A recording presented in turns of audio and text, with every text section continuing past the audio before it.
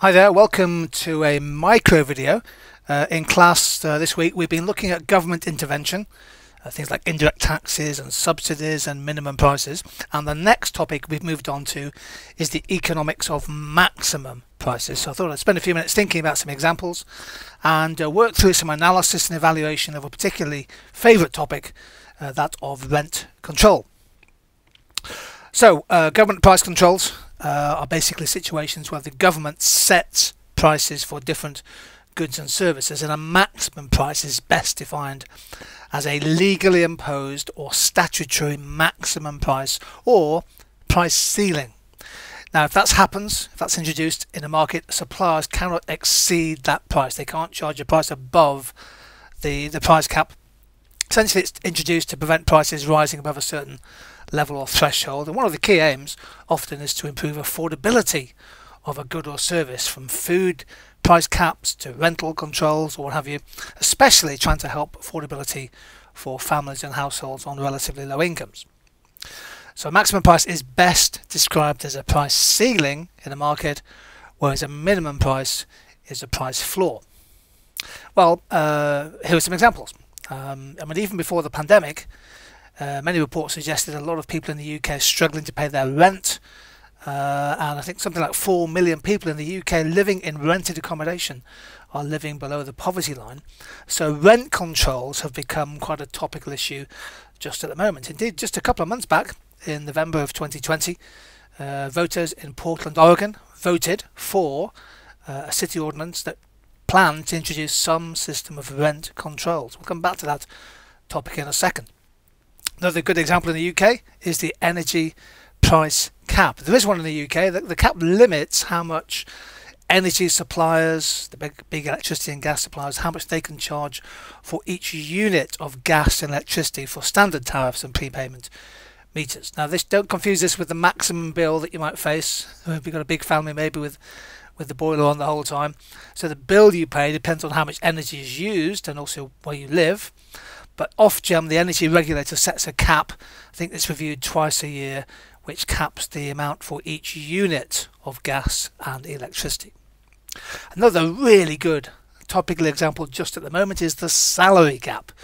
Back in again the start of last season, August 2020, uh, squads in the English football leagues one and two, including my own team, Harrogate Town, pictured here in yellow, uh, they introduced a an agreed fixed salary cap 2.5 million for League One, 1.5 million for League Two.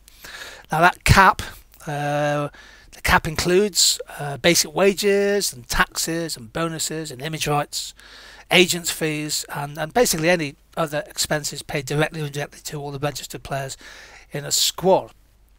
Um, and the cap is essentially an attempt to limit the spending on wages and fees in the lower levels of, of English football, uh, full-time football. Now that's a really interesting point because we have salary caps in rugby league and rugby union and also critically of course we have salary caps in the USA and we may well do a separate video on the economics of a salary cap. It's really interesting if you want to explore the, the consequences of caps, wage caps in markets. And I guess a related topic is executive pay. This has become highly topical again. Um, just back in 2019 the data suggests if you take the chief executive officers of the FTSE 100 companies, they took home a median pay package worth just over three and a half million pounds, and that's 120 times greater than the median earnings of a full-time worker, just a tad over 30,000 pounds. So by January the 4th or the 5th, uh, a CEO has earned in the first few days of the year what a median worker in the UK earns full time in a year. And that's a big debate about um, whether there should be an executive pay cap. Again, we have a we'll have a video on pay caps, executive pay. The other one, interestingly, at the moment, probably come across these claims management compensation companies. And, uh, you know, if you had a slip at work and you make a claim for an accident, well, at the moment, currently, some customers who get who, who win a case, they pay fees of more than forty percent of the actual compensation they receive. Now, at, at the moment, the the Financial Conduct Authority, the FCA, is thinking about capping those fees. Currently around 35-40%, they may well cap them so they can't charge more than 15-30%. That would be another example in a market of a maximum price.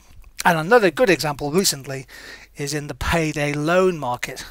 Unsecured loans, door-to-door, doorstep lenders and things like of Wonga, Provident Financial. Uh, lots of controversy over the years about the, the, incredibly high rates of interest charged on loans. The government stepped in a few years ago and introduced a cap. Interest and fees on payday loans have been capped at 0.8% per day, still pretty high in my opinion.